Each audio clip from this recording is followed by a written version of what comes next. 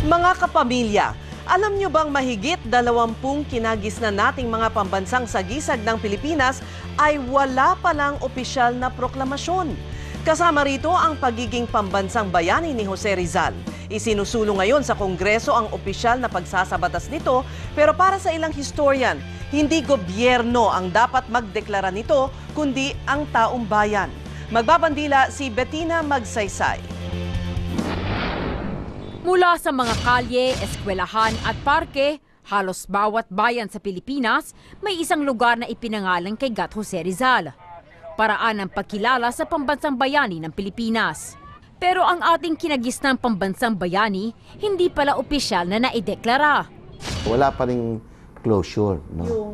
Yung? kung sino yung national hero natin. Ah, pero, ah, alam mo, ano yan, accepted na naman sa atin lahat.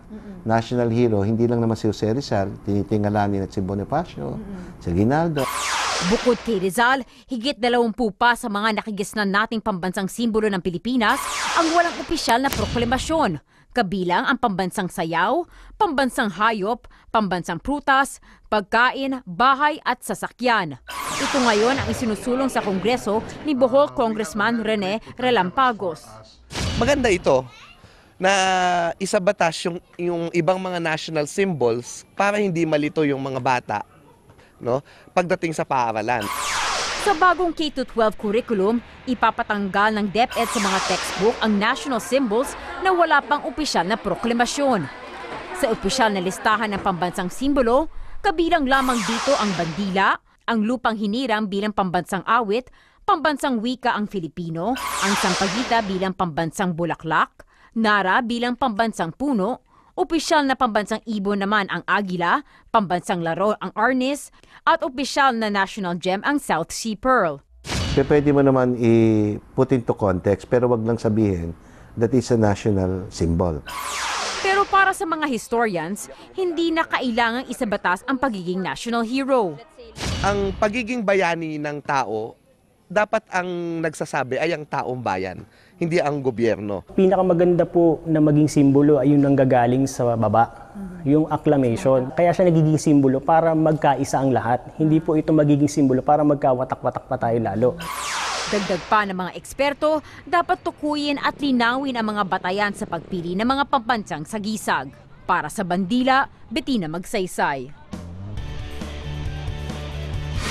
Kapamilya, lumabas na wala pa palang batas na formal na kumikilala sa mga nakagisna na nating mga pambansang simbolo. Kung kayo po ang tatanungin, kailangan pa bang isabatas ito o sapat na ang mga nakasanayan ng national symbols? Ang sagot ni Lionel Glory, kailangan daw magpasa ng batas tungkol sa national symbols.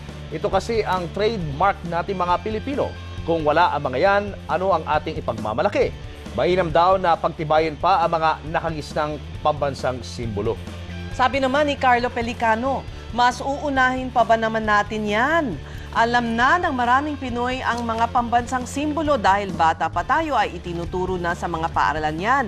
Bakit hindi na lang pagtuunan ng pansin ang issue ng Maguindanao Massacre, PIDAF at lipulin ang mga corrupt officials nang sa gayon ay mapaganda ang ekonomiya at pamumuhay ng bawat Pilipino. Naniniwala naman si Dominic Peña na kailangan din itong isabatas. Pero parang wrong timing lang dahil mas marami pang bagay na dapat pagtuunan ng pansin.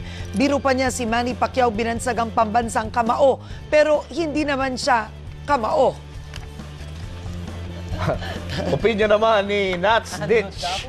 Matagal nang naituro ang mga pambansang simbolo sa mga paaralan, kaya mahirap na itong malimutan. Gayunman, mas makabubuti raw kung isasabatas na rin ito para mas maliwanagan tayo kung ano nga ba talaga ang totoo at hindi. Paniwala naman ni Eric Crazy Teddy. Maganda sana ang panukalang ito pero marami pang bills ang nakabinbin.